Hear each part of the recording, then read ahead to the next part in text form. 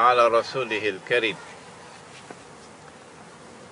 Once upon a time, quite some years ago, Al-Azhar University woke up one morning. Al-Azhar University was the premier institution of Islamic learning, the Muslim world. But Al Azhar University woke up one morning and looked out in the distance and they saw something strange out there. It startled them. It was new. It was strange. It was mysterious. And as Al Azhar looked more and more, it looked dangerous. It was something called Cairo University. Where's our Egyptian brother? It was something called, before you were born. it was something called Cairo University. And it didn't drop out of the sky. It was secular education planting itself at the face of Al Azhar to offer the mother of all challenges. and secular education has continued to offer the mother of all challenges. From that day to this day. And the response from Islamic education is still awaited. We have not as yet had the response from Islamic education.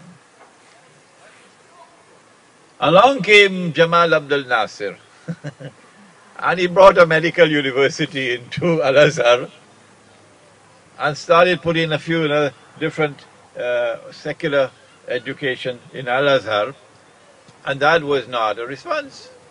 No. So Cairo University has continued to rule the roost. Fortunately that we have with us Ambassador Rose who, unlike you youngsters, is an elderly man.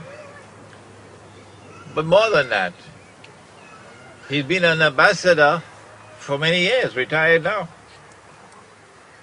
He has had a chance to see the world.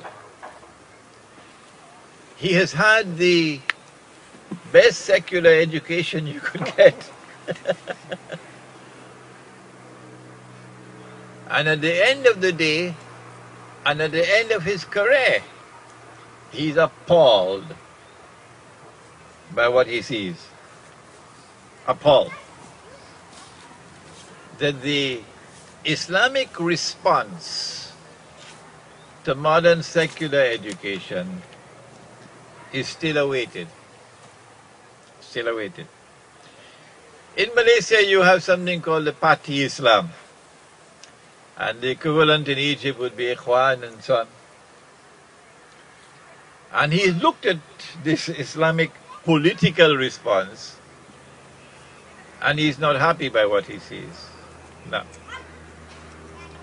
And he says that from the top to the bottom, everything is now secularized. Hmm? And so he came all the way from Malaysia, an ambassador, and he says he wants to sit with you in little groups, maybe underneath a tree out there in the shade, so he can chat with you. So you'll get from him a glimpse, a glimpse of the world in which you're now entering. Hmm? So I want to invite Ambassador Rose, before my wife comes and scolds me again for being casually dressed. I'm not supposed to be here now. Dr. Dr. Tariq was so, supposed to be taking you, that's why I'm casually dressed. I want to invite Ambassador Adlan Rose to first of all make a brief presentation of the world today as he sees it, the mess that is the world today as he sees it. And then I want you to chat with him and question him and offer your comments with him to him so that in today's session, as we're waiting on Tariq to come, today's session, we see the mess that the world is today. Bismillahirrahmanirrahim. Alhamdulillah Rabbil Alamin. Wassalatu wassalamu ala sayyidina Muhammadin anbiya'i wal wa ala alihi wa sahbihi ajma'in. His Eminence Maulana Sheikh Imran Hosein, our brothers from South Africa, hosts to the International Islamic Retreat. Brothers and sisters in Islam. I thank the Maulana for inviting me to have a few words to fill the time before our guest speaker comes. I just had a chat with him. He summoned me to his cabin over there, asking about the situation in Malaysia. There I was, explaining to him my feelings, my observation, my unhappiness as I see uh, in Malaysia, in my own country, but which is also reflected in other countries, and some of which I had served in. And uh, it is what he mentioned secularism. I started, as I mentioned to some of you that I met earlier. I don't have to go very far. I looked at my own education. At nine years old, I went to a public school in Malaysia. Public school run along the public schools of Britain. And our teachers were from Wales, England, Scotland. And I was taught at nine years old to sing Yankee Doodle Come to Town, you know. the Ken John Peel with his coat so grey, all about people in red coats hunting foxes. And what has that got to do with me? I come from a village in Malaysia. from nine years old. And I told people afterwards, when I began to realize this, I was taught to quote by heart, and I learned to quote by heart, and I understood fully pages and pages of Shakespeare, but I did not know the Quran. Secular education. That was in colonial times, my time, in the 50s. So at that public school, we had rudimentary Islamic education, if you like, by a not very highly qualified Islamic teacher, and taught up to about 12 years old to do what you call the uh, the basics of Islam, Fardu Ain, how to pray, told you about fasting, going to the Hajj, and that, sort of thing. No interpretation of the Quran, just reading, you know, without any uh, teaching of its full meaning and so on. Uh, rote learning, in other words. I observed that after independence, regretfully, the situation didn't change. I.e., although we're now independent, the school system remained the same in that children were still taught Fardu Ain up to about 12 years old, and that's where it stopped. The belief was that if you fill up the child with as much Fardu Ain as possible, then the hope is he can carry on himself throughout his life. Inshallah. But as I explained to a lot of people, you should explain to a child to understand the meaning of Allah Ta'ala is, is the master of everything. Yes? Malik Yawmiddin and so on, yes. You have to do right. You get punished otherwise. Explain to a young child uh, hellfire, brimstone in hell. That's enough for his age. You don't explain to him the meaning of Iman, Taqwa, what is happiness in Islam, what is freedom in Islam, what is human rights, what is justice in Islam, concepts which can only be understood by a child when he's more mature. Just as a child, uh, he goes to school at primary age, you teach him 2 plus 2 equals 4. You don't teach him principles of uh, Einstein's theory of relativity. He won't understand. You teach him algebra, mathematics, additional mathematics, and so on until he gets to university. Then perhaps you can explain to him concepts of uh, science and learning that could be understood at that age. Similarly with Islam, what I'm saying, it hasn't changed. That is a derivative from colonial days. And so, in addition, in addition, yes, The whole system of uh, government and life left to us is the Westminster system. Yes, you have a constitution.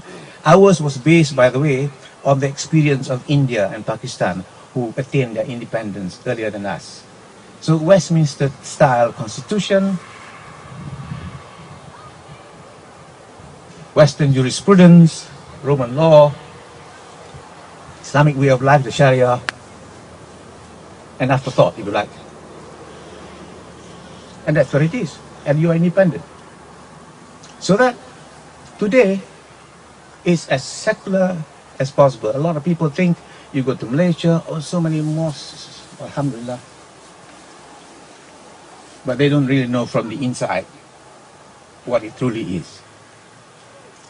Now, this I observe is the same experience as that gone through by other countries under the colonial system. Whether it was Dutch in Indonesia, Suriname, whether it was uh, Belgian Congo, India, Pakistan, Bangladesh. Yes. Started by the West in the 15th century. It's the same experience.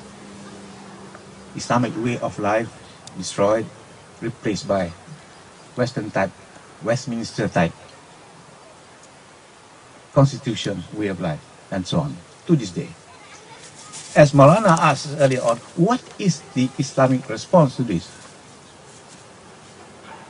My view is, speaking from, from Malaysia, I'm afraid it's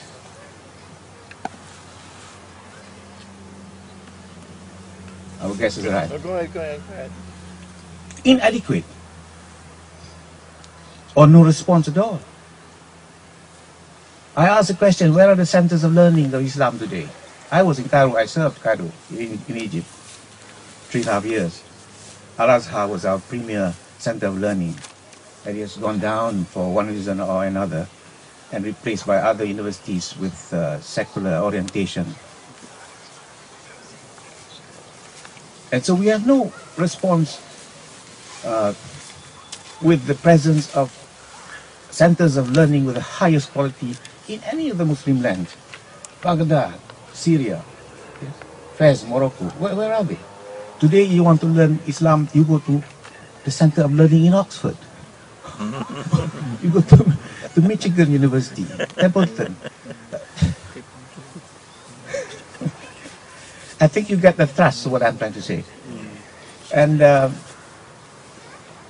this, what Maulana is, has founded, i.e., the retreat, is to be welcomed a thousand times. This is the way I can see for myself that there is a, a dearth, a want, a yearning for true learning, yes, to be imparted. And as you said, I'm an old man now, compared to all of you that I see, you are the future. Yes, this learning imparted by him and eminent scholars here present is the way to the future. And you spoke about the, the presence of the internet. While this is used by our inverted commerce enemy to infiltrate to know what we're doing, who we are, it can also be used by us to impart our knowledge and bring our own togetherness in our struggle. Yes, this is a hope for the future. Yes, with those brief words, uh, I end this uh, discussion for the moment. I have a presentation tomorrow, inshallah. All right, but you're gonna make sure